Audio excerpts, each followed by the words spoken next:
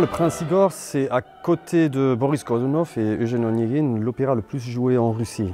c'est vraiment, comme Boris Godunov, un peu l'opéra national quelque part, opéra politique sur les grands mythes euh, russes, le pouvoir et la société, le peuple. Il y a toujours euh, le, tsar ou le, prince ou le roi et le peuple, euh, et aussi avec tout ce qui représente la politique.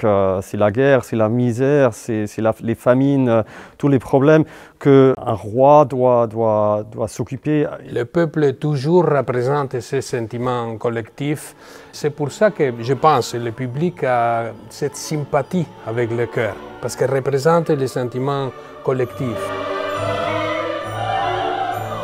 Au niveau instrumental, le Prince Igor est un peu complexe parce que presque rien n'est orchestré par euh, Borodine.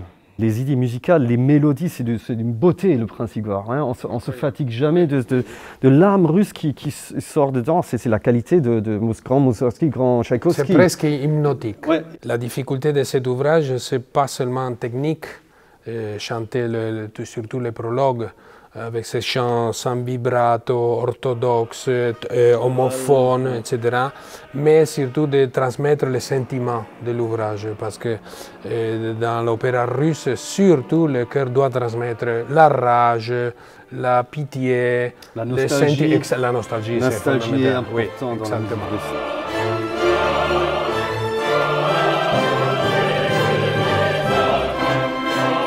Mon métier de chef de chœur, c'est surtout la préparation de, répertoire euh, avant qu'on arrive dans les plateaux. C'est-à-dire c'est un métier un peu, c'est très varié. C'est-à-dire connaître, étudier la musique avec les artistes, étudier les textes, euh, savoir voir un peu quelles sont les difficultés techniques de chaque spectacle et surtout les styles des ouvrages. C'est aussi d'adapter euh, techniquement, toutes ces voix qu'on a merveilleuses à chaque style euh, historique de la Et des voix très différentes aussi. Exactement. C'est, on a un grand chœur de 110, 113 personnes euh, avec des voix extrêmement différentes. Comment aussi, même pas seulement le style, mais aussi de, de, réunir dans, dans un sens.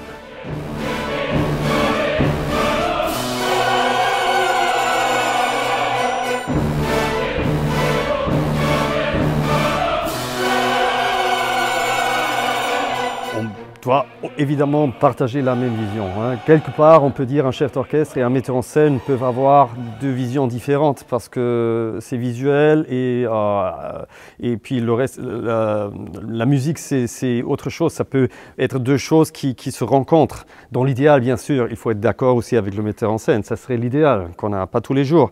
Mais euh, euh, évidemment, les chœurs, c'est comme l'orchestre, c'est notre, notre langage, c'est notre, notre partie de, de parler ensemble. Une des caractéristiques de le chœur de l'Opéra de Paris, c'est justement la flexibilité qu'ils ont un peu dans tout le répertoire. Et comme nous, on a un rythme de travail tellement serré, on doit justement adapter immédiatement les idées de, de chef d'orchestre à ce que nous, on a préparé peut-être pendant des mois. Bien sûr, avant euh, que je vois le chœur, il faut au moins que nous on se voit pour qu'on se mette d'accord euh, sur beaucoup de choses, euh, les choses basiques, comment je bats quelque chose, ou après sur la répartition des voix, parce que quelquefois c'est pas très, très, très clair. Mais dans les ouvrages de répertoire ou dans ces cas, on sait déjà, on se connaît très bien et on sait, moi je sais très bien ce qu'il veut avant de commencer. On a une confiance maintenant. On a une, euh, voilà, on se connaît tellement bien que moi, je peux te faire confiance. Comment tu prépares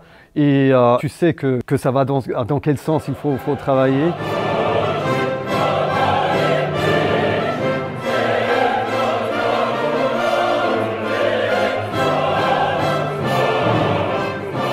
La préparation pour une nouvelle production ou même une reprise, c'est toujours la même chose. Je commence avec les, euh, solistes qui chantent la, majorité, euh, avec la mise en scène. Après, je commence à travailler avec l'orchestre et en même temps aussi, je vois le, chœur parfaitement préparé. après, on travaille vraiment que des nuances. Hein. Et le reste, ça se voit dans la mise en scène surtout. Il faut que je vienne pour justement intervenir, pour aider le chœur s'ils ont besoin. Euh, pour des raisons acoustiques, raisons de décor, raisons de, positionnement euh, euh, dans la mise en scène, des, choses. Et puis évidemment, il y a les italiennes, c'est les répétitions avec orchestre et chœur, et puis surtout les scènes orchestres avec le chœur, euh, avec les mouvements, il faut mettre Et je crois ça aussi pour toi et, les artistes, c'est le plus dur travail. Mais ce que tu fais très bien, c'est soit tu es sur scène avec les, les artistes pour les aider, quelquefois ils entendent mal l'orchestre, quelquefois ils ne voient pas me battre, ou, et tu règles des choses. Dans les scènes orchestres, où on a très très peu de temps, alors tu, changes un peu la position des gens, ou tu leur dis attention, tempo ici, hein, et regardez là, euh, écoutez là, euh, montez un peu le retour de l'orchestre, baissez un peu, c'est trop fort. Euh, tu es partout. On fait un peu vieux couple déjà maintenant. Hein. on se connaît tellement bien, on connaît bien nos, euh, interactions. Quand, il faut dire quelque chose, quand il ne faut pas dire et tout ça, euh, ça marche très très bien. Hein. On a une confiance extraordinaire. Hein. Dans 25 ans de carrière, j'ai jamais eu ça. Une, relation avec un chef de chœur. je pense que si facilement. Les résultats, après, le public peut voir.